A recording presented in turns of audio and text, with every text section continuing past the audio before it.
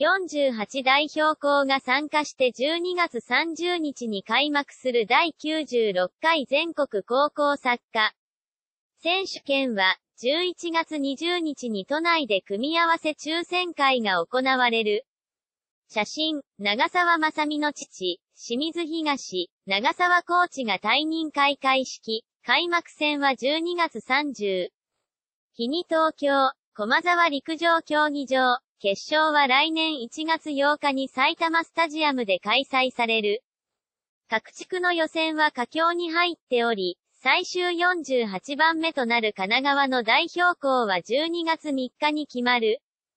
各地区の代表校、状況は次の通り、北海道旭川実、2年連続6回目、青森青森山田、21年連続23回目、岩手東野、5年連続27回目、秋田秋田賞、3年連続43回目、山形羽黒、6年ぶり6回目、宮城仙台育英、5年ぶり32回目、福島高市、4年連続9回目、茨城秋秀学園日立水戸慶明、19日決勝、群馬前橋育英前橋賞、19日準決勝、気流第一高崎境大月、19日準決勝、栃木矢板中央、2年ぶり8回目、埼玉昌平浦和西、19日決勝、千葉流通経済大柏日体大柏、19日準決勝、八千代市船橋、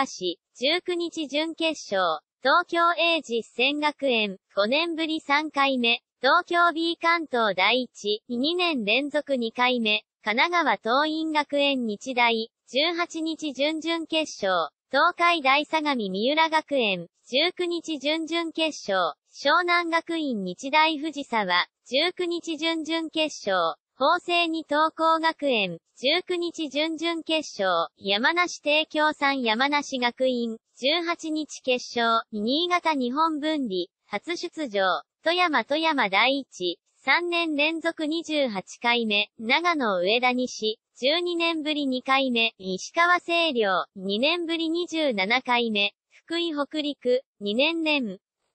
続5回目、静岡清水桜ヶ丘静岡学園、18日決勝、愛知中京大中京東海学園、18日決勝、皮膚帝京大科に、5年ぶり5回目、三重三重、初出場、滋賀大見草津東、18日決勝、京都京都立花組山、18日決勝、奈良一条奈良育英、18日決勝、和歌山初芝橋本近代和歌山、18日決勝、大阪大阪桐蔭、9年ぶり2回目、兵庫滝川第2、2年連続20回目、鳥取米子北、8年連続13回目、島根立正大湘南、2年連続16回目、広島瀬戸内広島南、19日決勝、山口高川学園最強、18日決勝、岡山作陽、3年ぶり23回目、香川高松賞、2年連続23回目、愛媛松山校、2年ぶり6回目、徳島徳島北、初出場、高知高知西、初出場、福岡筑陽学園が決勝進出東福岡東海大福岡、18日準決勝、